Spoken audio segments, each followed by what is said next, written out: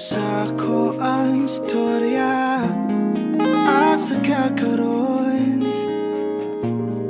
Ay lakaw pa doon ako diha Pasensya na